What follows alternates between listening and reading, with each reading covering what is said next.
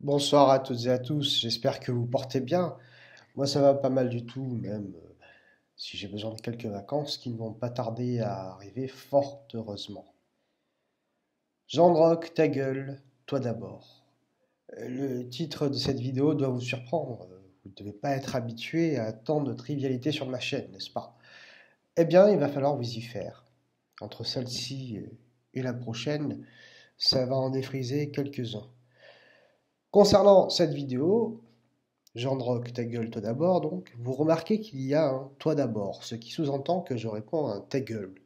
Ce ta gueule, il vient de la part de Jean Rock, qui m'adresse une vidéo qu'il a commis le 15 mars 2019 et qui s'intitule L'envers des Gilets jaunes, une histoire de société.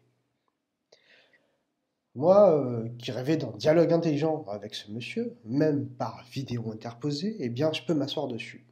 Bon, je vous avouerai que cela fait belle lurette que j'ai tiré un trait sur la possibilité même d'une discussion constructive qui nous grandirait tous les deux. Et à force de déception, Jean Droc, cet énergumène qui fait figure d'escroc, ne m'intéresse plus. Pour ne rien vous cacher, ceux qui me suivent le savent déjà, Jean Droc ne m'a jamais euh, intéressé, il est vrai. Il n'était qu'un prétexte pour parler d'anthroposophie. Euh, je trouvais déjà son approche pseudo-résistante, euh, pseudo-rebelle, fallacieuse. J'avais bien compris depuis longtemps qu'il n'était qu'un coach de la plus pire espèce, c'est-à-dire un bonimenteur. Un bonimenteur comme on en trouve dans les marchés aux puces, vous voyez, ceux qui vous vendent des produits miracles. Ou alors ceux qui en vendaient dans le Far West, là, les, les medicine shows. C'est ainsi qu'on les appelait. Eh bien, Jean Droc nous fait des medicine shows tous les jours. Et une fois qu'il a vendu sa cam, il dégarpille rapidement pour fuir les gens qu'il a arnaqués et se produire dans un autre bled. Ceci dit, euh, j'en étais où là? Ah oui, j'avais bien compris depuis fort longtemps que Jean Droc n'était qu'un medicine show, un escroc. Et je viens de saisir, il y a de cela quelques semaines, qu'il ne connaissait en plus rien à l'anthroposophie à laquelle il prétend se rattacher. Pis encore, il n'a aucun lien avec les anthroposophes qui sont extrêmement organisés et solidaires. Lui est bien trop vaniteux pour se soumettre à une cause plus grande que sa petite personne. Non, non, pour Jean Droc, se dire anthroposophe, c'est euh, tout comme votre voisine qui lit Cosette, euh, boit du jus de carotte épinard bégonia, pratique des danses de derviche à l'association de quartier et se dit bouddhiste.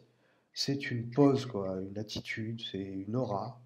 C'est du marketing pour vous soutirer de l'oseille. Une personne qui m'est proche, je te salue bien bas si tu m'écoutes d'ailleurs, et qui est au fait de mon antipathie pour l'anthroposophie, non pas intrinsèquement envers l'anthroposophie, euh, ce que j'en pense en tant que tel, euh, je garde mon avis privé. Non, j'ai plutôt de l'antipathie pour euh, l'anthroposophie en tant que religion qui avance masquée pour mieux tromper les gens. Donc cet ami proche me dit, après que je l'ai averti euh, hilar du fait que Jean ait réagi à une de mes dernières vidéos, voici ce qu'elle me dit. Je suis allé voir, ce mec est pathétique, pourquoi lui prêter encore attention? Et cette personne a entièrement raison. Puisque Jean est un escroc doublé d'un ignare qui est ignoré par l'ensemble des anthroposophes, ça ne sert à rien que je continue à m'attarder sur lui. Quant à ses auditeurs, cette personne proche m'avait rétorqué aussi quelque chose du genre euh, Non, mais après, euh, si les gens se font pigeonner à un moment, c'est qu'ils le veulent bien. Ouais, c'est vrai que c'est encore une parole raisonnable. Mais j'ai quand même de l'empathie pour les auditeurs de cet escroc qui sont, comme je l'ai dit dans une vidéo précédente, sans doute dans une misère sociale, affective, professionnelle terrible. Voilà, c'est comme ça, on ne se refait pas, je suis comme ça. Toutes ces personnes qui se font arnaquer par Jean Droc ont un nom, un prénom, une vie, des conditions qui les ont déterminés à se faire détrousser les poches et le cerveau. Enfin, j'ai décidé de laisser tomber ce boulet de Jean Droc. C'est la dernière vidéo où je parlerai de lui, vous en êtes témoin. Donc, Jean Droc, ta gueule, toi d'abord. Le passage où il me répond dans sa vidéo L'envers des Gilets jaunes, une histoire de société, débute à 3 minutes 12. Voici comment il démarre. Je cite. Je cite parce que si je mets l'extrait in extenso, ce qui aurait été plus clair pour tous, cet être mou et flasque m'aurait fait sauter euh, la vidéo, tout simplement. Donc je cite, mais je vais m'aider d'un petit logiciel pour, pour essayer euh, voilà, de, de départager les voix afin que ce soit compréhensible. Allons-y. J'ai eu la réflexion d'un troll, cette nuit, très malveillant, évidemment, comme tous les trolls savent l'être. Ah, je précise que je n'ai jamais trollé ce monsieur, je n'ai jamais trollé sa chaîne, comme il dit, que je ne m'y suis jamais rendu sous un autre pseudonyme pour le faire tourner en bourrique, que je, ne l'ai jamais dénoncé auprès de YouTube. Mais le qualificatif de troll, c'est encore une manière de me rabaisser sans autre argument. Moi, quand je le traite d'escroc, je le fais au bout d'un an et je le prouve par A plus B. Donc, Jandrock, ta gueule, toi d'abord, quoi. Qui a dit C'est important que je le dise, d'habitude je relève pas, je m'en fiche. Qui a dit Oui, eux, pour quelqu'un d'antisystème, vous publiez sur Amazon. oui, c'est vrai, j'ai dit ça. eh, ça te va bien la voix féminine?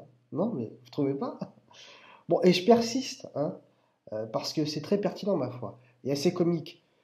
Euh, ça, décrédibilise totalement Jean Drock et ça continue à le ridiculiser, quoi. À ta place, euh, vu que c'est la honte, je la fermerai. ta gueule, Jean Drock, quoi. Ce qui est étonnant, sur tout ce que tu dis, parce que j'en aborde des sujets traités par ta bêtise, tu ne révèles que celui-ci. De tout ce que j'ai raconté par rapport à tes incohérences, tu ne relèves que ça. Ton silence sur le reste prouve forcément que j'ai raison. J'en prends acte. En tout cas, c'est vrai. Le fait que tu publies pour un Amazon, pour un anti-système, ça la fout quand même bien mal. Alors ma première réponse, c'est ta gueule. C'est ma première réponse. C'est une réponse sincère, directe, et puis une bonne paire de claques, ça suffirait. Donc cet homme qui se bat pour la liberté d'expression, cet homme à la voix de femme, qui se dit victime de censure, me demande de me taire, assez vulgairement, vous en conviendrez. Puis, il me menace physiquement, il me menace physiquement, il voudrait me mettre une bonne paire de claques. Non, mais quelle ironie du sort, quoi. Et quelle puérilité. Et franchement, Jean Rock, ta gueule, quoi, espèce de petit roquet. Jamais, moi, je me suis abaissé à ce genre de choses depuis que je traite de tes propos. Bien au contraire, j'ai toujours été respectueux. Preuve en est, euh, le travail sérieux et sourcé que j'ai produit jusqu'à présent. Sincèrement, tu ne me mérites pas. Continuons. Mais comme ils sont tellement lâches, ils se présentent jamais, et ils ont toujours des pseudos. Ah là là, le pseudo sur Internet. Comme s'ils ne savaient pas que le pseudonyme, c'est une culture sur Internet, ça a toujours existé. Comme s'il était besoin de savoir qui je suis, euh, quelle tête j'ai pour juger de mes propos. Attaque-toi au fond, hein mais ça, je ne pense pas que tu en sois capable. D'où tes basses attaques de petits roquets. C'est vraiment des journalistes véreux, séditieux et crétins. Ah, loupé, mon grand. Non, non, je ne suis pas journaliste. Ferme ta gueule. je suis pas journaliste. Donc il se reconnaîtra. Alors oui. Oui, je publie sur Amazon parce que, je l'ai déjà dit et je le répète, parce que je peux avoir mes droits d'auteur. Mais dis-le plus clairement, mon grand, c'est pour le fric, c'est pour l'oseille, le pognon, c'est pour le fric, c'est chic. Je croyais que tu faisais ça pour les enfants. Mais non, c'est pas désintéressé. Tu es vraiment, vraiment un coach. Tu, tu nous parleras de ton expérience chez PAJ Coaching en 2008, quand tu voulais coacher des entreprises Hein Ah là là, quelle truffe. C'est pas du tout pareil dans une maison d'édition qui va séquestrer les droits d'auteur pendant un an. Et quand elle a envie de payer, elle paye, ou pas Ah non, mais là c'est n'importe quoi ce qu'il dit. Hein. Je connais très bien le monde de l'édition, je travaille avec lui. Et là, Jean Brock, il nous déblatère des bêtises. Quand on décroche un contrat d'auteur, il y a une prime qui est négociée avec l'éditeur. Ça consiste en un cachet qui se discute, qui se négocie, donc, comme je le dis, suivant la qualité de l'éditeur. Quant à l'auteur, c'est comme un peintre, il est coté, quoi. Il a une cote, il a un prix, quoi. Donc il a un meilleur cachet, l'auteur, au fur et à mesure de ses succès. Il peut même percevoir des avaloirs. C'est-à-dire que lorsque un éditeur veut garder l'auteur dans son catalogue, plutôt que de se le faire piquer par un concurrent, il lui fournit une avance conséquente afin de le libérer euh, la vie, du matériel, quoi. L'aider à se consacrer à l'écriture. Et au final, le texte qui sera écrit sera publié par l'éditeur. Tout est soumis à contrat, donc. Évidemment, pendant un temps donné qui est aussi négocié dans le contrat, l'auteur cède une partie des droits de reproduction. L'auteur peut toucher des royalties des ventes pendant ce temps-là ou après la fin des droits de l'éditeur. Par ailleurs, l'éditeur a aussi des obligations. Et puis, euh, il y a un autre type de contrat, le contrat d'auteur, c'est-à-dire que l'auteur avance les frais de, publication de 3 000 à 5 000 euros le plus souvent, et l'éditeur s'occupe du reste. C'est le cas des éditions, par exemple, de l'Armatan, qui se moquent d'ailleurs complètement du contenu. Tant que tu leur files de l'argent et que tu ne contreviens pas à la loi, l'Armatan te publie. Donc voilà, tu, dis n'importe nawak, tu ferais mieux de la fermer ta gueule d'abord, toi. Hein. Tu dis vraiment n'importe quoi. C'est impressionnant. Si elle a envie, cette maison d'édition, de faire des retouches sur mon texte sans m'en donner l'autorisation, elle le fait. Non, non, c'est faux. Pas sans ton autorisation. Il y a certes un travail d'éditeur qui est celui de conseil, de correction, etc. C'est vrai qu'il y a certains éditeurs qui peuvent te mettre la pression sur des bouts de texte qui veulent complètement changer. Mais dans ce cas-là, il est toujours possible pour l'auteur de dénoncer le contrat et de refuser la publication. C'est faux ce que tu dis. Et quand c'est faux, euh, voilà, soit tu es ignare, soit tu mens, comme un arracheur de dents. Euh, je pense que tu mens. Et là, dans ce cas-là, il ne te reste plus qu'à fermer ta grande gueule. Quoi. Ouais, ouais. Si elle a envie de cesser une publication, elle le fait. C'est encore faux. Ben oui. Ah, t'as tout faux. Hein. La publication cesse par rapport au temps déterminé dans le contrat initial. Soit le contrat est renouvelé, soit les droits reviennent à l'auteur. L'éditeur, il veut gagner du fric, quoi. Si le premier tirage qui est prévu numériquement dans le contrat se vend rapidement, l'éditeur va vite prévoir un second tirage, un troisième tirage, etc., etc. Les éditeurs investissent pour gagner de l'oseille. Ils ne vont pas arrêter la publication arbitrairement si le livre se vend toujours, à moins qu'il y ait vraiment un fâcheux problème, mais c'est très très rare. Euh, ils ne feront pas de tirage supplémentaire, par contre, si le bouquin se vend très mal. Donc tu, tu, déplatères encore des, bêtises. Arrête de prendre des vessies pour les lanternes, quoi. Ta gueule, Jean Rock. Mais ta gueule. Or, pour l'instant, chez Amazon, je n'ai pas ces problèmes-là. Évidemment que tu n'as pas ces problèmes chez Amazon. Amazon édite n'importe qui, n'importe quoi aussi, tant que tu restes dans le cadre de la loi, et encore, ils sont beaucoup plus laxistes qu'un éditeur lambda. Euh, quand tu fournis tes textes, tu prévois toi-même 70% de redevance pour l'auteur. Amazon, c'est la solution facile quand tu n'as pas trouvé d'éditeur qui accepte ton travail ou que tu n'as pas d'argent pour avancer chez un éditeur du type de l'Armatan. Voilà, tu as choisi la facilité parce que tu ne peux pas faire autrement. Donc ferme ta gueule. Ferme ta gueule. C'est pas. Euh, c'est, déjà un effort d'écrire un livre et euh, à saluer. C'est pas facile. Donc, c'est pas facile non plus de trouver un éditeur et je ne blâme pas les gens qui publient chez Amazon. par contre, les imbéciles comme toi qui se targuent, euh, qui, qui, se targuent tout le temps de, sauver des enfants, etc., de faire des livres pour ça, d'avoir du talent ou je ne sais quoi encore, euh, qui n'ont aucune humilité, là, là, ça, là, ça me. ta gueule, quoi. Jean Rock, ta gueule. Je les aurais, Bien sûr, si je continue à travailler sur la vaccination. Effectivement, oui, apparemment, il y a une poussée de députés ou de sénateurs américains, je ne sais plus, qui demandent à Amazon de sévir avec les complotistes de bas étage et les coachs anti-vax du type Jean Rock qui pullulent. D'ailleurs, ce ne sont pas les livres, euh, mais les vidéos qui sont pistées pour l'instant. Et la vérité médicale Ah, la vérité médicale. Regardez l'humilité. Bravo, bravo d'emblée, tu te places sous les mannes de la vérité. pas de doute, quoi. Allez, on y va franco, plus c'est gros, plus ça passe. Non mais franchement, ta gueule, jean roch Je ne suis pas qu'un chercheur, je suis aussi un auteur. Ah ça y est, belote et rebelote, il est reparti avec cette histoire. Mais non mais ta gueule, roch tu n'es pas un chercheur, tu ne l'as jamais été. Tu as un master 2 d'histoire de l'art, c'est bien, euh, mais c'est pas suffisant pour être chercheur, surtout dans les domaines auxquels tu prétends t'attaquer et auteur, bon, tu écris un livre, donc tu peux te dire écrivain, auteur, à, à la rigueur, quoi. Quelqu'un qui écrit un bouquin, c'est un écrivain. Mais ça ne présume en rien de la qualité et de la pertinence de tes écrits. Donc, je suis capable aussi de produire autre chose. Et pour l'instant, je n'ai aucun, mais alors aucun éditeur, qui me propose les mêmes avantages qu'Amazon. Franchement, franchement, quel éditeur voudrait publier des âneries? Je t'ai lu un peu.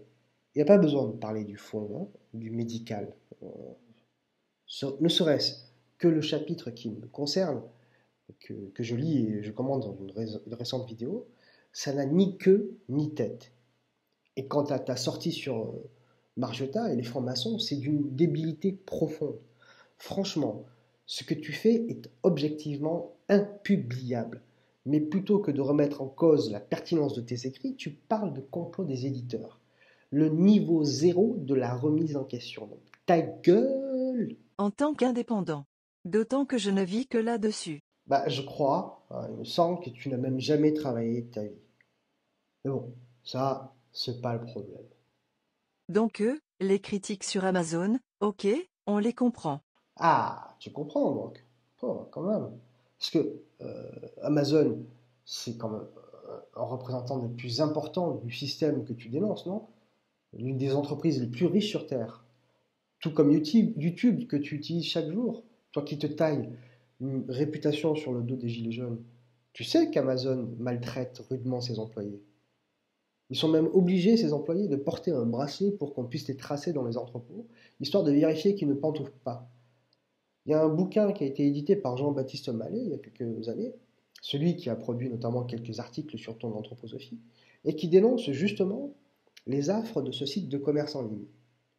Tu te poses une question éthique entre ce que tu dis et ce que tu fais alors. Bon, bah, tu vas nous expliquer pourquoi tu publies chez Amazon, je suppose, mais en attendant, on va laisser parler euh, Jean-Baptiste Mallet. Ce sont des conditions de travail extrêmement euh, pénibles. Il y a énormément d'accidents euh, dans les entrepôts Amazon, voire parfois des accidents mortels. aux États-Unis, il y a encore eu un mort le mois dernier dans le Tennessee et on dénombre euh, simplement pour les États-Unis 8 morts depuis 2013 dans les entrepôts Amazon. Euh, c'est quasi quotidien en Europe, hein, les accidents dans les entrepôts Amazon. J'étais en Italie euh, en décembre dernier pour couvrir une grève à Piacenza, et là j'ai pu rencontrer beaucoup de travailleurs qui avaient été accidentés du travail, certains qui ont été opérés du canal carpien, qui ont des troubles musculo-squelettiques, et tous les rapports d'inspection du travail, notamment en France, sont absolument accablants. Et que Amazon Web Service aujourd'hui, c'est aussi une infrastructure globale euh, et même quand on n'achète pas sur Amazon, on est tous clients d'Amazon. Oui, c'est tentaculaire en fait. C'est vraiment ça que montre le film. Tout à fait. Euh, de euh, la CIA à Netflix, en passant par effectivement des services publics en Europe, tout le monde peut se retrouver indirectement à utiliser les services du cloud d'Amazon. C'est une pieuvre qui est partout et qui, je pense, va poser de plus en plus de problèmes démocratiques à l'avenir. Alors ces derniers jours et même ces dernières semaines, on a pu voir certains gilets jaunes dans les territoires en province bloquer des accès à Amazon. Ce n'est pas pour rien qu'ils bloquent ces endroits-là. Oui, c'est symbolique parce que les entrepôts Amazon, c'est au fond tout ce que dénoncent euh, les Gilets jaunes. Euh, Amazon, c'est une entreprise qui est le champion de la précarité, mais c'est aussi un champion de l'optimisation euh, fiscale. Amazon sait en permanence jouer la concurrence des territoires pour récupérer de l'argent public. Il faut savoir que plus de 600 millions de dollars ont été accordés aux entrepôts Amazon aux États-Unis lorsqu'ils ont été construits. C'est la même chose en Europe ou en Allemagne, en France, en Italie, en Pologne. On a donné de l'argent public à Amazon pour construire les entrepôts. Récemment, Amazon a annoncé l'inauguration de deux nouveaux sièges, l'un à Arlington près de Washington et l'autre à New York. Amazon a récupéré 2 milliards de dollars euh, d'aide publique, donc c'est le contribuable qui va payer en partie euh, ces sièges. Et selon un sénateur démocrate de New York, ça serait en réalité 3 milliards qui seraient accordés à Amazon sur cette installation. Donc on a une entreprise qui à la fois euh, optimise fiscalement euh, ses euh, déclarations, qui paie très peu d'impôts comparé à un commerçant de proximité et qui en plus est aidé par la classe politique. Eh bien, l'accord a été signé, il est secret, ce qui doit beaucoup énerver les Gilets jaunes, et là-dessus, on ne peut que leur donner raison. Il n'est pas normal, dans une démocratie moderne, que on ne puisse pas savoir combien Amazon doit payer d'impôts, qu'il y ait une telle opacité, en fait, dans cette, dans cette déclaration, dans cet accord. Aujourd'hui, l'optimisation d'Amazon continue. On a appris récemment que la France et l'Allemagne, euh, notamment via Bruno Le Maire, avaient chassé euh, Amazon de la loi anti-GAFA qui se prépare. Donc va être une loi qui va s'intéresser seulement aux revenus publicitaires. Et donc Apple et Amazon ne paieront pas cette taxe GAFA. Donc on comprend très bien euh, qu'un commerçant qui paie ses impôts, qui paie ses cotisations en France, quand il se retrouve confronté à cette machine de guerre qu'est Amazon, soit en colère, parce qu'en réalité ce sont les citoyens qui sont perdants. Et verse dans la vente en ligne, mais ça détruit de l'emploi sur les territoires Et donc on perd le lien social qu'on peut avoir dans une librairie indépendante ou dans un magasin qui vend des articles de cuisine. Tout ça on le perd et on ne le chiffre pas et forcément, eh bien, ce mouvement va accentuer les colères et euh, la dislocation du tissu social.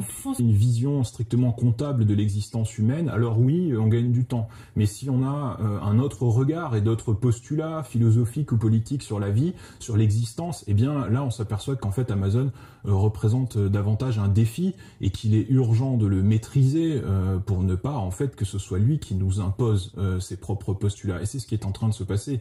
Il n'y a pas actuellement de contre-pouvoir euh, démocratique à la puissance d'Amazon. Euh, la classe politique, malheureusement, a renoncé. On voit cette commissaire européenne à la concurrence qui nous explique que tout va bien dans le meilleur des mondes, mais pour autant, la concurrence actuellement en Europe, elle est libre, mais elle est totalement faussée parce que les commerçants de proximité et bien d'autres acteurs économiques se retrouvent en concurrence avec ce mastodonte qui n'est pas euh, imposé de la même manière. Donc il est urgent de restaurer une véritable concurrence, d'arrêter les aides publiques à Amazon et de contrôler davantage l'économie. Euh, même les travailleurs qui sont en CDI, au bout de deux ans, deux ans et demi, quittent l'entreprise, tout simplement parce que physiquement, ils ne tiennent pas. Et en réalité, Amazon coûte très cher à la collectivité, parce que quand vous avez un, un jeune travailleur de 30-35 ans qui a passé deux ou trois ans chez Amazon, qui après physiquement en ressort très abîmé, j'ai rencontré des gens qui ne peuvent plus lever les bras en l'air, euh, parce que euh, les conditions de travail d'Amazon en fait ont totalement détruit corps. Euh, quand vous avez ensuite dans la collectivité des travailleurs qui ne sont plus aptes au travail physiquement, eh bien c'est à la collectivité de les prendre en charge et Amazon ne paie pas euh, tous ses impôts. Donc c'est un modèle qui n'est pas soutenable, euh, très clairement. Oui. Euh, qui n'est pas viable tout simplement. Qui n'est pas viable. Qui pas valable. il, fonctionne parce qu'effectivement Amazon sait jouer auprès des élus locaux en leur disant vous allez avoir quelques créations d'emplois et donc c'est ce qui s'est passé à New York et Washington, 50 000 créations d'emplois je crois pour les sièges, mais in fine un, un, modèle qui je pense nous, nous mène dans le mur. En fait, le modèle Amazon, c'est totalement monolithique. C'est un contrôle quasi totalitaire euh, pour les travailleurs qui vivent avec la peur au ventre. Et à la fin, quelqu'un qui aspire à construire un monopole. C'était pas euh, les promesses de départ euh, du libre-échange et du capitalisme. Avec ce slogan Work hard, have fun, make history. Travaille dur, amuse-toi et participe à l'histoire. Oui, un slogan assez, assez effrayant, mais qui a une traduction concrète dans les entrepôts. Voilà, je suppose que c'est ça que tu vas nous raconter, hein, Jean Brock? Tu vas nous raconter ce que est en train de nous expliquer euh, monsieur Jean-Baptiste Mallet. Donc eux, les critiques sur Amazon, ok, on les comprend. Et je suis le premier à les faire. Soyons objectifs. Je voudrais vous présenter un livre extraordinaire. Révisé, seconde édition, qui inclut les histoires des auteurs de Yann Martin et de Tessie Taylor, qui sont deux chercheurs et qui ont écrit de livres extraordinaires en anglais évidemment, puisque c'est un livre américain, qui s'appelle Fight Autism, NWIN, Biomedical Therapies That Actually Work. Alors ce livre, ça veut dire combattre l'autisme, et vaincre l'autisme, ce sont des thérapies biomédicales qui fonctionnent. Oula, ça me semble loin de ce que Jean-Baptiste Mallet expliquait. Mais bon, admettons. Tu parles de ce bouquin-là, Yann Martin et Tessie Taylor sont des chercheurs comme toi. Hein. Euh, tu, les qualifies de chercheurs, ce sont des chercheurs comme toi. Ça veut dire que ce ne sont pas des chercheurs. Ce sont deux dames qui se définissent d'ailleurs comme parents, auteurs et coach biomédical. Donc ce ne sont pas des chercheuses. Ce livre est censuré par Amazon. C'est-à-dire que tout ce qui concerne le soin et la guérison est désormais censuré par tout le monde, et c'est Amazon, Google. Tout le monde. Tout le monde censure. Non, tu dis encore des bêtises, tu ferais mieux de fermer ta gueule, Jean Rock. Non, non, il n'est pas censuré ce bouquin par Amazon. Il n'est pas vendu par Amazon, c'est pas pareil. Pas vendu par Amazon parce qu'on y trouve de la pratique de médecine illégale. Mais parce qu'il n'y a rien qui soigne l'autisme actuellement, au contraire de ce qui est annoncé dans le titre du bouquin. Des soins qui accompagnent l'autiste sans doute, euh, qui améliorent le sort de l'autiste sans aucun doute, mais aucune thérapie qui arrive à vaincre euh, l'autisme. Par ailleurs, tu tapes le nom du livre sur Google et tu trouves le site de ces coachs et le livre à acheter. Donc tu dis que des conneries et tu ferais mieux de la fermer. Et, hier, grâce à vos dons, et je vous remercie pour vos dons qui nous permettent de faire fonctionner cette chaîne, parce que ça permet de nourrir certaines personnes qui travaillent avec nous, et qui font du travail important. Donc ça c'est une première chose. Bon, ok, on est loin de ce que disait Jean-Baptiste Mallet sur Amazon. Euh, tu te plains d'Amazon pas pour les bonnes raisons. Les dons. Tu en as reçu et tu fais travailler des gens, dis-tu.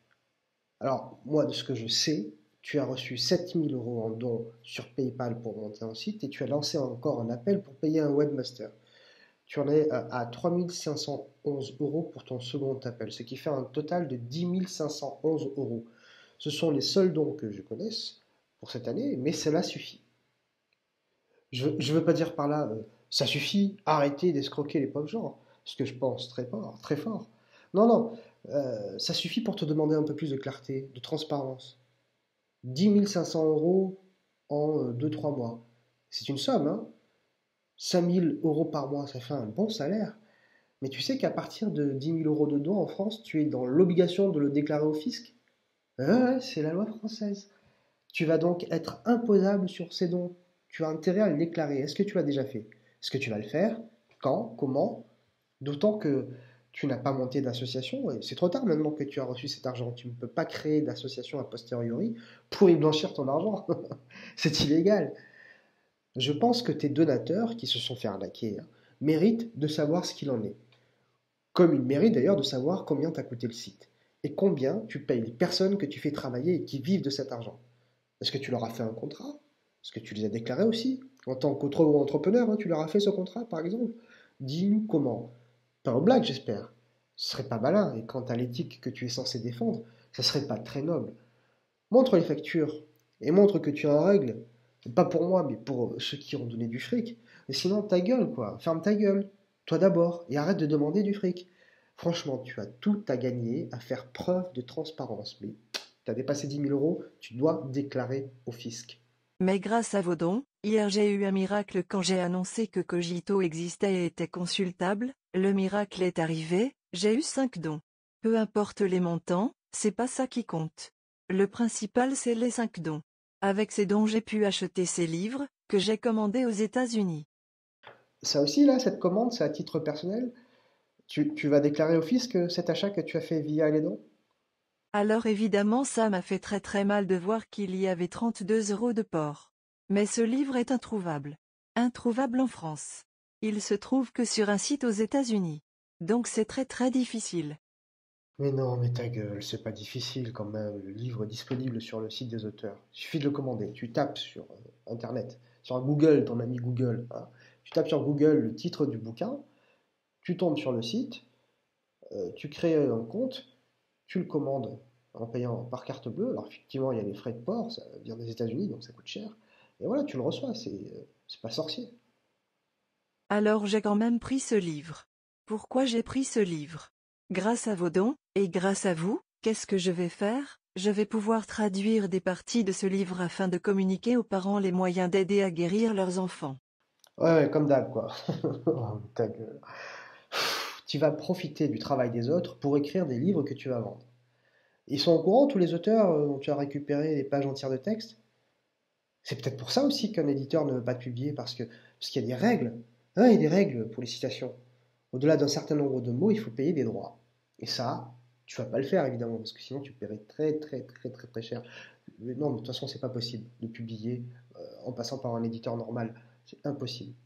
Alors ça, ça me vaudra peut-être des répercussions très graves de la part des laboratoires qui ne veulent pas que ce soit publié, mais en tous les cas je peux vous assurer que je le ferai. Et il est commandé, je ne sais pas quand est-ce que je le recevrai. Mais peu importe. Dès que je le reçois je travaille dessus.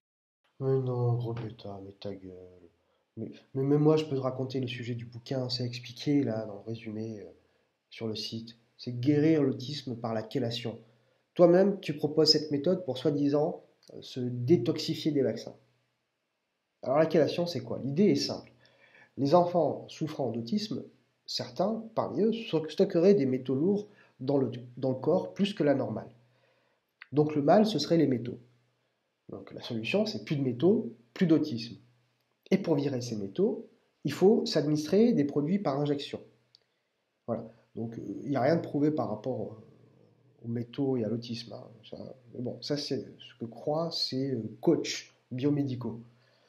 Ils vont plus loin parce que nos amis lanceurs d'alerte, eux, ne veulent pas faire ça par injection, ce sont des produits chimiques. Hein.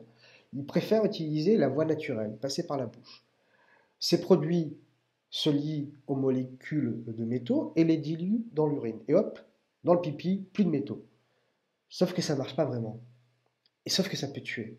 Enfin, je dis ça, je dis rien. La question scientifique, je la laisse à d'autres, plus à même d'en parler. Et si vous allez chercher un peu euh, par vous-même, si vous faites vos propres recherches, si vous faites votre chercheur sur Google, vous verrez qu'il n'y a rien de très sérieux à tout ça, euh, et encore moins de recommandé, et encore encore moins euh, par rapport à l'autisme. J'espère que d'autres feront la même chose. Parce que plus nous en parlons, plus nous pouvons sauver les enfants. Non mais t'as pas honte. T'as pas honte quoi, t'as aucune honte. Arrête avec les enfants. Tu y penses toi aux enfants quand tu bosses avec Amazon pour pouvoir toucher du fric? Sérieusement?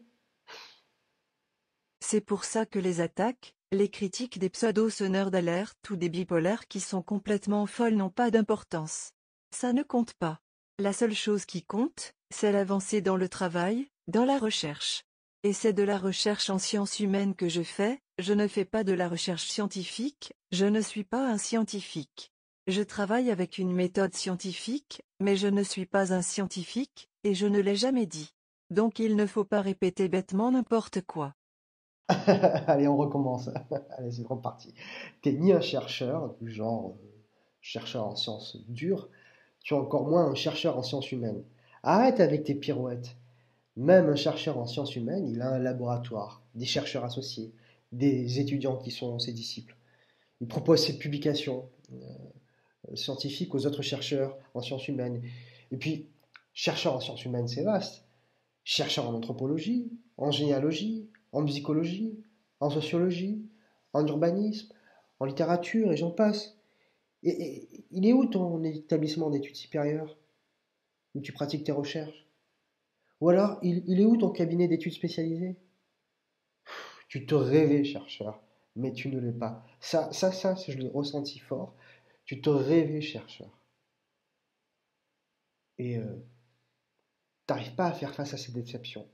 T'arrives pas. Je comprends. Hein, on a tous des souhaits, des envies. On, se voyait euh, d'une manière et puis on n'y arrive pas. Alors on, trouve des pirouettes pour euh, pour pas regarder la vérité en face. Et il ne faut pas faire comme un terre-platiste l'a dit, j'écris moi-même mes livres, vous le savez, je veux dire, j'ai un style. Tu veux que je rapporte les plagiats de ton premier livre que j'ai lu? À coup de chapitre entier, mal traduit, mal agencé avec euh, ce qu'effectivement tu vas écrire ensuite. Mal traduit, mal agencé, ça se sent, c'est pas des fois c'est pas français quoi. Alors euh, effectivement ensuite tu écris euh, sur les francs-maçons, le Big Pharma et toutes ces conneries. Tu veux, que je fasse une vidéo dessus avec preuve à l'appui? Parce que le travail de relever, je te le dis, hein, il est déjà fait. J'ai même trouvé les sites sources, les textes sources. Il n'y a plus qu'à faire la vidéo. Est-ce que tu y tiens? Vraiment, est-ce que tu y tiens? Non? Je pense que je devrais pas jouer à ça si j'étais à ta place. Je, devrais la fermer. E veut dire, le propre de l'écrivain, c'est d'avoir un style. Et bien chacun son style, moi j'ai le mien. J'existe par mon style. Donc ce n'est pas la peine de faire de la diffamation en permanence sans disant tout et n'importe quoi, parce que c'est vous qui vous ridiculisez et c'est bien dommage. Parce que vous perdez toute crédibilité sur le travail que vous ne faites pas et que vous prétendez faire parce que les voleurs c'est vous. Donc, tout ça pour vous dire que ce livre a été commandé grâce à vos dons. Et je vous remercie parce que ces dons vont aider les parents qui ont des enfants autistes à améliorer leur santé. Nous travaillons ensemble pour tenter d'améliorer le sort de cette humanité en souffrance. Chacun met sa pierre à l'édifice. Il y a des personnes qui n'ont pas d'argent du tout et qui ont la force de donner à la cagnotte 5 euros, 2 euros, 3 euros. J'ai 30 000, je dis bien, j'ai 30 000 abonnés sur ma chaîne YouTube, et j'espère que vous les abonnez sur ma chaîne YouTube vous allez passer sur Kojito et vous n'aurez plus besoin d'aller sur YouTube, en dehors des livres. Mais ça on va essayer de trouver une solution pour régler cela. Eh bien, j'ai 30 000 abonnés, si les 30 000 abonnés donnent 1 euro. 1 euro. Est-ce que vous vous rendez compte de ce que ça fait? C'est énorme. C'est énorme. ah là là, t'en peux plus là. 30 000 euros oh, 30 000 boules ah, Franchement, déjà, fais preuve de transparence et de légalité avec ces dons. Je suis pas une balance, hein, moi je ferai rien. Je fais déjà une vidéo, tu vas me dire c'est beaucoup. Mais je ferai rien, je te dénoncerai pas. Mais je sais que d'autres, Ça va les démanger, ça c'est sûr. Et là, ça les démange. Ça peut nous permettre d'acheter des livres rares, sur les plantes comme à acheter Être en liberté, un livre exceptionnel, introuvable, sur les plantes. Bonne fait ce travail, je vais pas le faire. Elle le fait, et elle le fait très bien. Elle se tape très bien la figure, ta copine aussi. Hein. Je choisis de m'en extraire complètement. Je choisis de créer ma réalité. Celle qui me correspond, celle qui me parle et celle qui m'aligne à l'intérieur de moi-même. Je choisis de m'aimer. Dans tout ce que je suis, de bon ou de moins bon, de beau ou de moins beau. Mais je choisis de m'aimer profondément, complètement.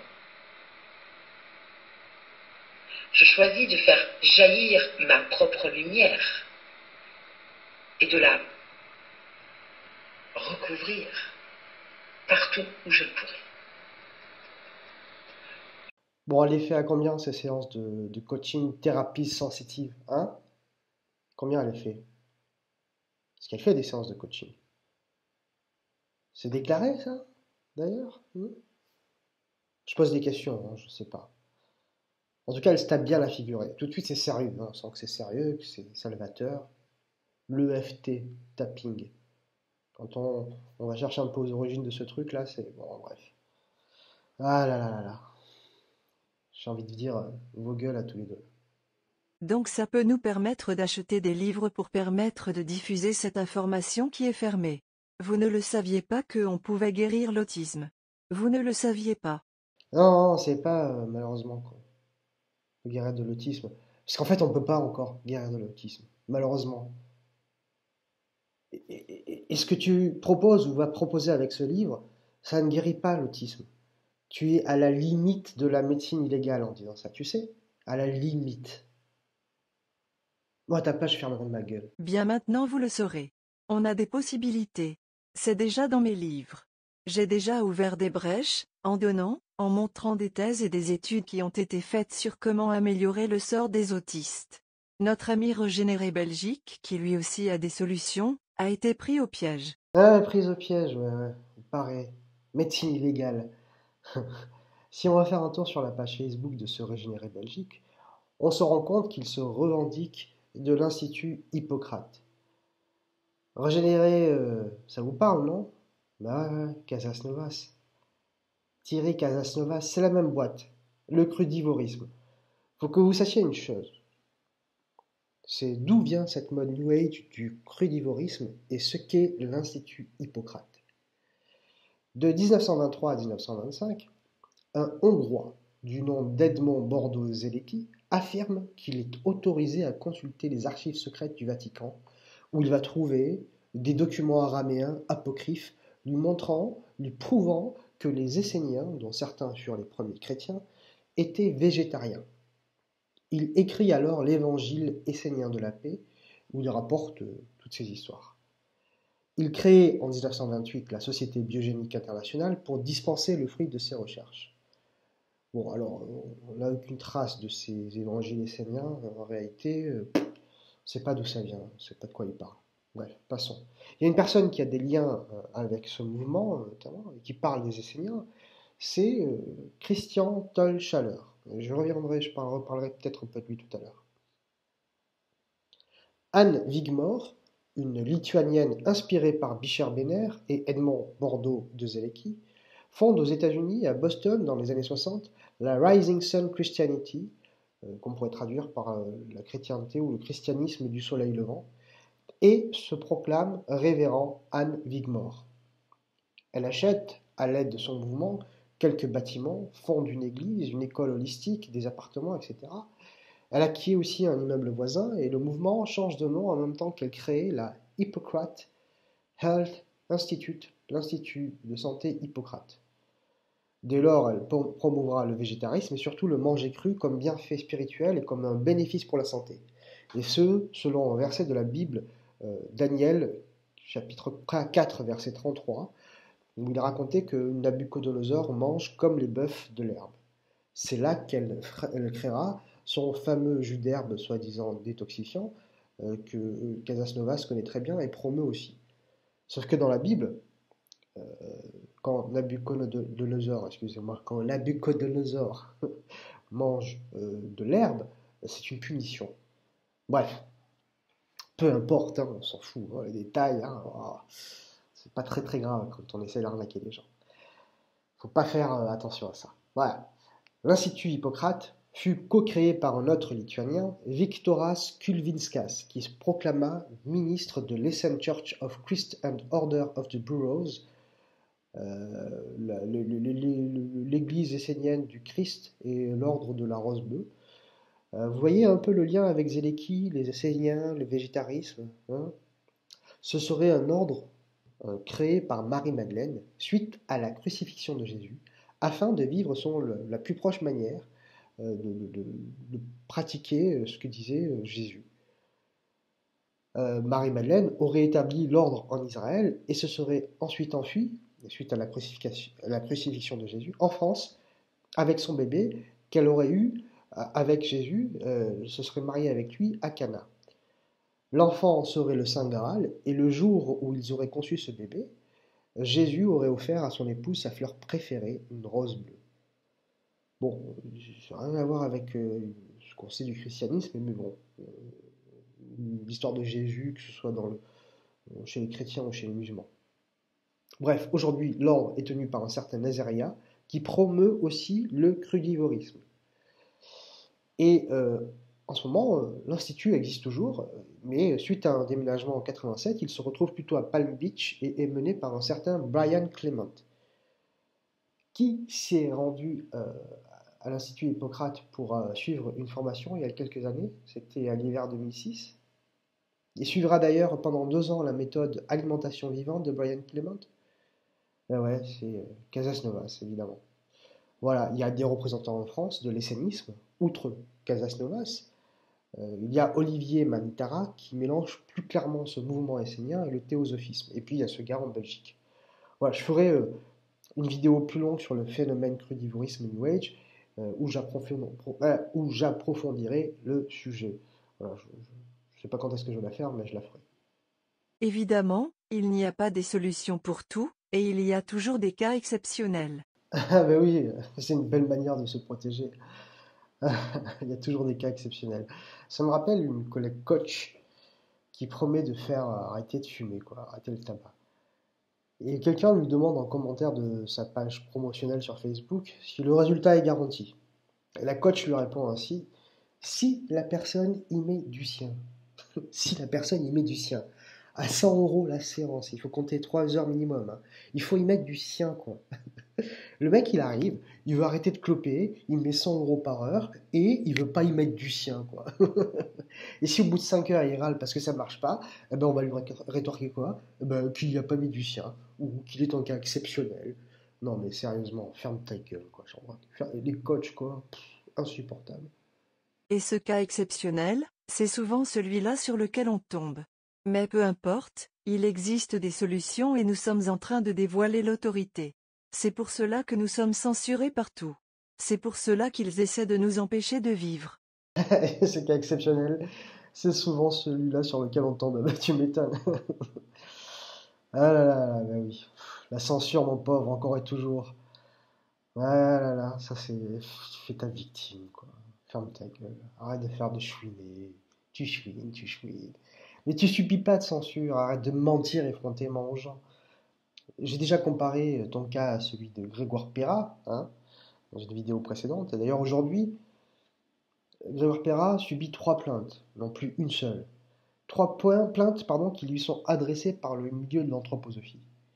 Lui demande de l'argent euh, pour l'aider à payer ses procès contre un mouvement religieux euh, qui cherche vraiment à la faire taire et il se pose vraiment un lanceur d'alerte, et c'est effectivement un lanceur d'alerte, je l'ai prouvé. Toi, par contre, tu demandes du fric pour te construire un site et t'acheter tes livres. Voilà. Pour que tu puisses continuer à brailler, à parler tranquillement et être payé pour ça.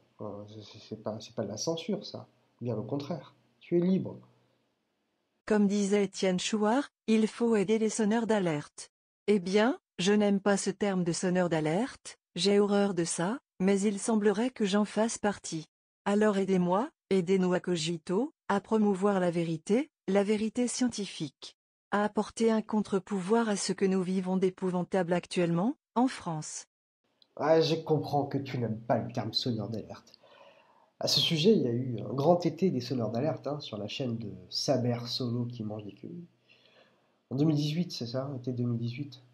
Son but, c'était de faire à, à Saber Solo, c'était de, faire un média, quoi, comme il disait, attirer du monde. Il a attiré un tas de coachs d'ailleurs, notamment lors d'une soirée spéciale où on avait la crème de la crème. C'était l'époque où ils se faisaient les dents, hein, tous là, sur la masturbation à l'école. On en est revenu de ces conneries. Hein. Ah, il les a promus, Solo, ses coachs. Il a fait taire les contradicteurs. Je me rappelle d'une séquence où l'ami Louisette Clavray, que je salue bien là, posait des questions basiques et rationnelles sur les chemtrails, et où on l'a viré manu militari, on l'a quasiment insulté, alors qu'il était impossible pour lui de monter dans le direct et de, continuer à, faire la contradiction. quoi. Ouais, le Saber Solo, il s'est fait des abonnés euh, grâce à ses sonneurs d'alerte, et maintenant, il se fait des abonnés en nous apprenant que ce sont tous des charlatans et des arnaqueurs. Quelle farce, quoi. Et Wanenki, le platiste, vendu par sa pote Marie Parent, qui était au courant depuis longtemps, mais qui a décidé de le lâcher pour une bisbille, quoi. Voilà, il a fallu que euh, Ewan Enki s'en prenne la haine pour qu'elle nous dise euh, la vérité. Ewanaki, donc, qui est parti aux Philippines, non pas pour créer un centre holistique proche de la nature, comme il le disait, et d'ailleurs il a fait des demandes de dons pour construire ça. Non, non, mais c'est pour rejoindre une femme qu'il a rencontrée sur un site de rencontre, donc, euh, et pour euh, monter une maison, quoi. Il avait besoin d'argent pour ça. C'est comme Jim Leveilleur, hein. lui aussi il est marié à une Philippine, sans doute rencontrée sur un site aussi, et qui vit au Maroc parce qu'en France on refuse de reconnaître administrativement cette union, c'est lui qui le dit. Et euh, Jim Leveilleur, lui aussi, quoi, il fait la promotion d'une monnaie virtuelle. Parce que lui, il le dit dans une de ses vidéos, il est guidé par des êtres supérieurs, vous comprenez, et qu'en ce moment, les monnaies virtuelles, les crypto-monnaies lui tournent autour. Donc c'est un signe. Et la crypto-monnaie dont il va parler, lui, dont il va faire la promotion, c'est le Zincoin, fondé par un certain Karim Ben Abdelkader, un franco-algérien, qui a fui la France, où il a été placé en faillite personnelle pour une durée de 15 ans, avec notamment, pour une seule de ces entreprises, un million d'euros de, faillite, de, déficit. Il a donc fui la France pour le Maroc. Et il a fondé le Zincoin, et aujourd'hui, euh, t'en as un qui nous en fait la promotion, quoi. Jim Leveilleur, je te jure. Il y a Exister en liberté qui nous dit que les médicaments c'est mal, que les vaccins c'est mal, que l'école c'est mal, et qui propose de vous soigner en récitant des séries de chiffres inventés par un charlatan russe Grabovoy, réincarnation de Jésus, capable de réparer une station spatiale en orbite par la seule force de son mental. Ouais, ces séries de chiffres d'ailleurs, elles peuvent vous guérir du sida, quoi. Exister en liberté vous propose aussi de vous guérir en vous flagellant la ganache, comme on l'a vu, et en vous faisant des consultations privées sans doute payantes. Alors, j'avais fait une, vidéo sur Grabovoy et Exister en liberté, je vous y renvoie. Il y a aussi celui qui a fondé euh, l'association Évidence, là je me rappelle plus de son nom, qui aurait détourné de l'argent sur Saber Solo. Qui, le gars qui a fondé l'association, hein, Saber Solo l'a accueilli quasi quotidiennement à l'époque sur sa chaîne pendant deux mois. Maintenant, c'est un, arnaqueur, pardon, un escroc. Aujourd'hui, Saber Solo, il est à fond gilet jaune. Il a promu Jacqueline Moreau, puis aujourd'hui, il insulte quasiment. Enfin bon, c'est un irresponsable et un profiteur. Voilà. Je sais que des amis qui veulent pas trop euh, l'attaquer parce que bon, s'en fout, c'est rien. Non, non, mais il faut le dire, quoi, c'est un irresponsable et un profiteur. Bon, j'ai dû oublier euh, des personnes qu'il a invitées pour se faire euh, du buzz, quoi. Antoine Nouvelle Terre, le pseudo enfant indigo, hein, divulgation cosmique, extraterrestre, etc. Christian Talchaleur, dont je vais parler tout à l'heure. Valdec, le platiste, qui a avoué récemment chez King May être payé grassement pour parler de la Terre plate. Je veux dire, les mecs, ils, parlent, ils disent tout le temps que les gens sont payés pour dire que la Terre est ronde, etc. Le mec, il avoue qu'il est payé grassement pour parler de la Terre plate. Qui c'est qu'il y avait encore? Maximus, Schuller euh, et sa fédération des, je sais pas quoi, là Alixator, qui est poursuivi en ce moment par Charlotte Livre, hein, journaliste. Ah là là. Hassan Body, alors lui, alors, magnifique les arbres, genre, lui il est fantastique, hein, il est même détesté de ses amis sonneurs d'alerte. Moa Tahiri, hein. Bon, bah, en tout cas, euh, Jean Rock, tu fais partie de tout ça, quoi. Tu as participé à tout ça. Tu étais euh, aussi euh, très présent chez Saber Solo. Alors, pour l'amour de Dieu, quoi, ferme-la, ta gueule. Ta gueule, toi d'abord, tu me dis ma gueule, mais le boulot que je fais, il a toujours été respectueux, sourcé. je ne vais pas avoir honte de ça, mais ce que tu fais, quoi. Ah, ferme-la. Ou alors, ou alors je te propose une chose, je le repropose encore une fois, c'est d'ouvrir, je te propose de l'ouvrir, ta, ta, gueule, pour un débat, quoi. toi et moi, juste sur l'anthroposophie. On reste respectueux, temps de parole, etc. Prends juste un sujet d'anthroposophie, celui que tu veux, n'importe lequel. Je prends. Mais tu, tu, en sortiras gagnant. Tu me fermeras le clapet une bonne fois pour toutes, vu que je suis un mignard. Ah, mais tu vas pas enlever. Hein. Tu es un pleutre, tu sais que tu arnaques. Tu es d'ailleurs un anthroposophe de pacotille. Donc voilà, je vais plus parler de toi, de toi, je vais continuer à parler d'anthroposophie, mais plus de toi, parce que tu t'es rien, quoi. Et euh, mon sujet, c'est plus le New Age que toi. Tu, tu ne me mérites pas. Je te fais quand même des bisous, connard, hein, parce que bon, ça suffit, quoi, se faire insulter euh, tout le temps dans tes livres, dans tes vidéos, dans tes vidéos, etc. Bon, ça suffit, quoi.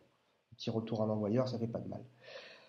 je voulais euh, quand même aussi finir sur ceci, une petite vidéo un entretien euh, donné par une télé. Euh, cet entretien, une personne interviewée, c'est Eva Illouz, euh, qui a écrit un livre qui s'appelle Apicratie et qui dénonce bah, la quête du bonheur absolu et notamment eh bien, ce qui se fait par l'entremise des coachs. Voilà, je vous laisse écouter. À bientôt pour une prochaine vidéo. et portez-vous bien d'ici là. Ne vous faites pas arnaquer, quoi, les gens. Essayez, quoi. C'est dur, hein. On se fait tous arnaquer un peu, mais. les coachs, quoi, franchement, c'est. Faire arnaquer par ça, c'est quand même.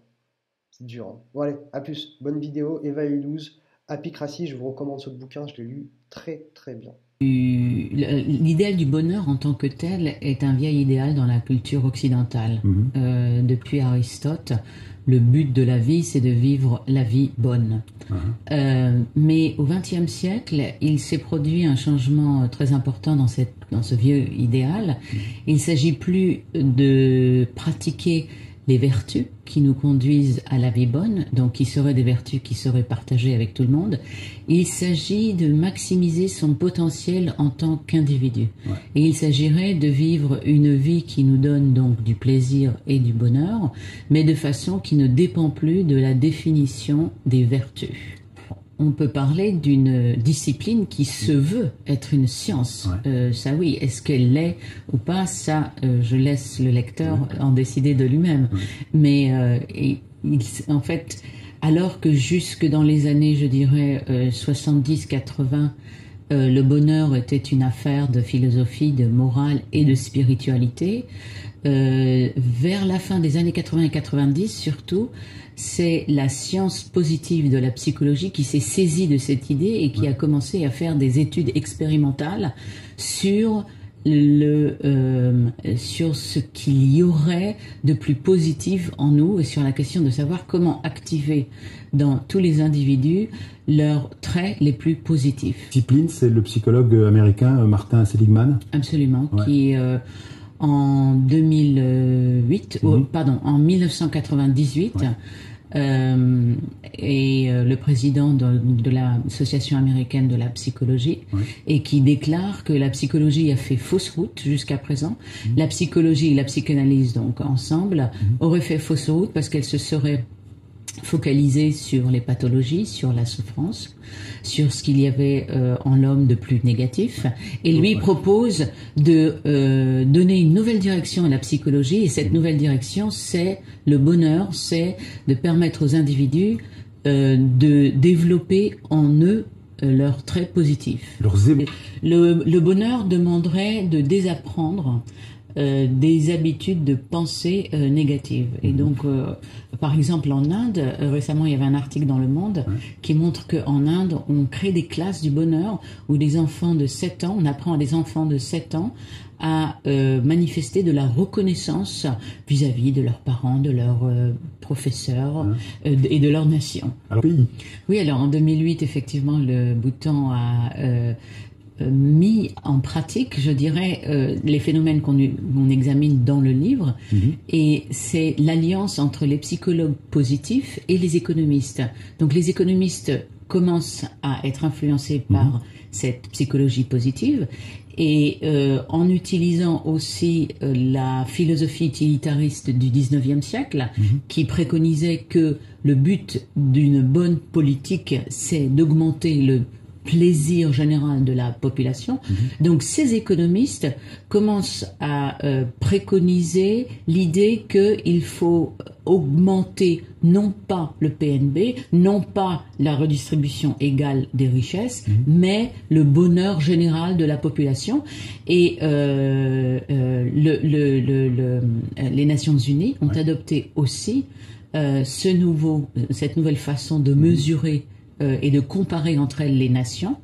Euh, Israël, donc un petit pays que je connais bien, euh, est systématiquement classé très haut dans, avant l'Allemagne, la France et les États-Unis, alors que le coût de la vie en Israël est très cher, alors que il s'agit d'un pays qui est constamment en en, en, en, proie à des guerres, euh, alors que alors que beaucoup de gens consacrent beaucoup d'années de leur vie à un service militaire euh, très éprouvant, mhm. eh bien, ce pays euh, a quand même des euh, notes beaucoup plus élevées que que, des, que, des, que, que d'autres pays qui sont beaucoup plus pacifiques. Non, alors Richard Layard, qui est donc un économiste à la London School of Economics, mhm. qui est un des gourous, un, celui qui va peut-être créé, fondé le domaine qu'on appelle les happiness euh, economics, donc l'économie du bonheur. Mhm. Richard Layard a été interviewé donc dans un article mhm. et euh, il a déclaré que euh, le bonheur, que la raison pour laquelle les Israéliens avaient des notes aussi hautes était sans doute que l'ennemi commun crée de la solidarité. Et avoir de la solidarité, c'est donc avoir un niveau de bien-être qui est euh, plus grand. Donc on voit bien là un des problématiques euh, du bonheur, de cette façon de mesurer les nations par le bonheur, c'est qu'on en vient finalement à ignorer des problèmes qui sont qu'on a considérés jusque-là comme fondamentaux, c'est-à-dire la question de la distribution des richesses ou la question de savoir si on est en guerre ou si on choisit une politique de paix. Euh, le, le, bonheur permet en quelque sorte de contourner ces questions en justifiant des politiques qui euh, seraient des politiques qui augmenteraient. Non, d'abord, je ne parle pas moi de solidarité, c'est. Richard Layard qui en parle. Mhm. Ensuite, euh, alors une des choses qui est intéressante, c'est que la psychologie positive est utilisée à la fois comme marchandise individuelle, c'est-à-dire je vais voir quelqu'un pour qu'il m'aide à être plus heureux, j'achète un livre. Le bonheur est une marchandise en fait. Oui, e, exactement. Mais il a été aussi cette, euh, ces, idées de la psychologie positive ont mhm. été également adaptées par des institutions. L'armée, euh, américaine, par exemple, a créé un programme euh, pour accroître le bon moral de ses soldats. Euh, Coca-Cola, euh, mm. la, grande entreprise, la multinationale Coca-Cola, a adopté euh, un programme aussi de, de bonheur, et les nations aussi. mais on pourrait... Oui. Alors d'abord, je, l'ai dit il y a quelques minutes, la première chose c'est que quand elle est appliquée au niveau des nations, mm-hmm.